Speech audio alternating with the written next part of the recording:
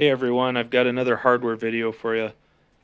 Today I read that Blender 3.3 LTS was released, and one of the big exciting parts of that to me, and I'm sure a lot of you guys, is that uh, you can use Vega architecture GPUs from the AMD side now. And I know a lot of people had kind of been asking for that in the forums and everything. So, this PC here is the one I was going to use for my Tesla K80s to test those out. Haven't tried them yet, but before I get into that, I'm going to tear these out of here and run this Vega 56 I have.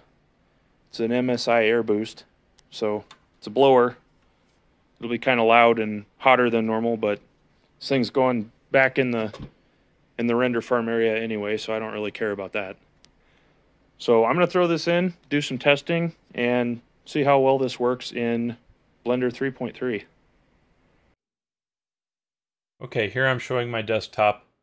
First I'm going to remote into the PC with the Vega 56 installed, and we're going to show that Vegas do work now in Blender 3.3 in viewport performance, and then we'll do a short test render to show, um, to get an actual time for a render that we can compare to another card, maybe a RTX 3060, just for reference.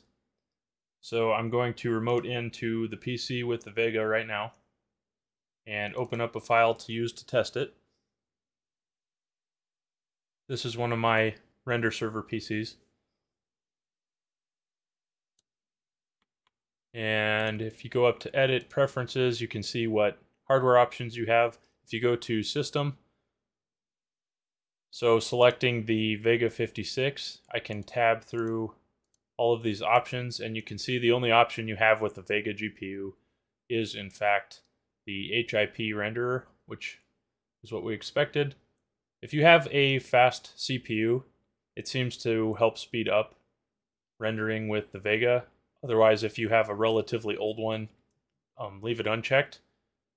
But for now, just to test the Vega, I will leave my processor turned off. And then I'll plan on rendering in 2560 by 1440 because that is what my monitor is. And we'll set the render settings to run 1024 samples just as a good base point. And we'll turn on denoising using Open Image Denoiser. And the viewport settings will be somewhat similar. And then we will switch over to rendered view mode.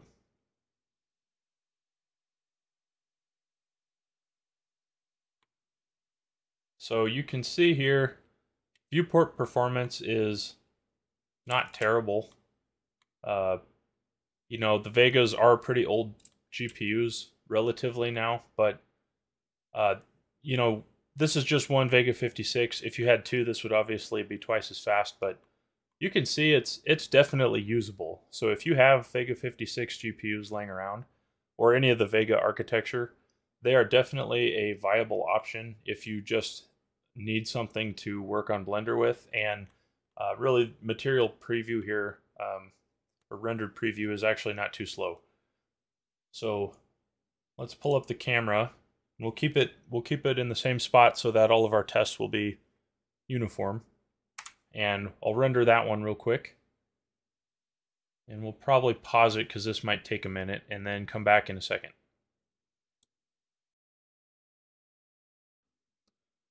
Okay, now here is the final render.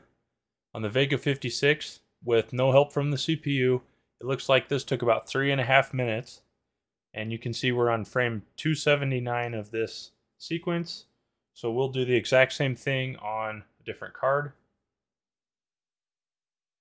So I am going to remote into a PC that has an RTX 3060. All these PCs I have are set up to help me render. I have videos on my channel about how to set that up. Okay, I'm opening the same file here on the other computer. Up in edit mode. I am going to run OptiX with the 3060 and then no help from the CPU again. Um, this test is not meant to be a fair test in that we're not testing HIP and CUDA Uh, this is really just to kind of compare it to a, a more modern card to show you performance versus, you know, something else that you might have or might be able to get now. So we're going to run the 3060 on OptiX. We'll take it out of camera mode. We'll make sure everything's fair so all the all the render settings are the same. We'll come over to our sampling.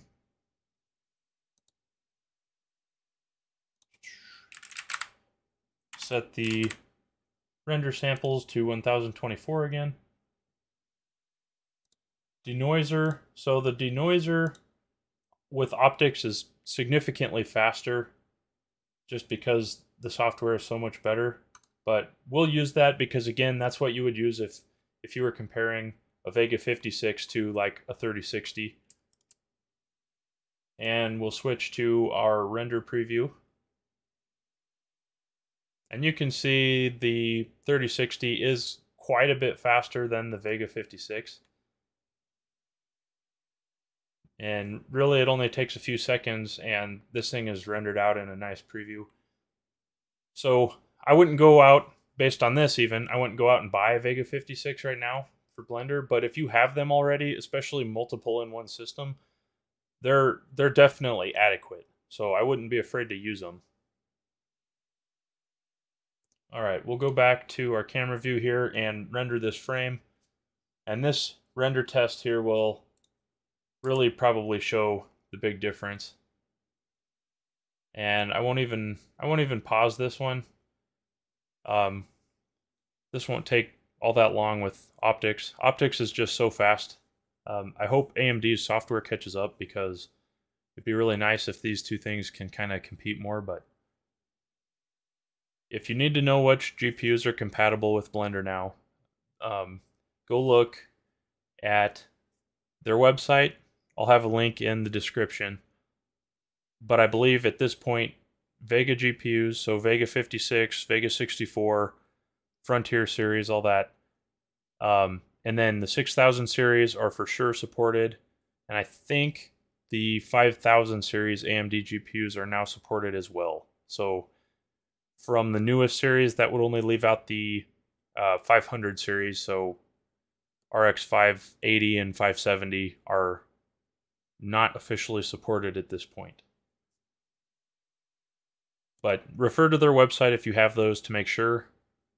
They do have updates fairly often on Blender, so by the time you see this video, that may not be true anymore, but this is Blender 3.3. Okay, so the RTX 3060 took 1 minute and a little over 15 seconds, so it's about it's about twice as fast as the Vega 56. So really the Vega 56 is is not a bad card still. So if you've got them, use them. And really that that's all I wanted to show you guys. Just let you know that Vegas are working in Blender again. Hope this helps and thanks for watching.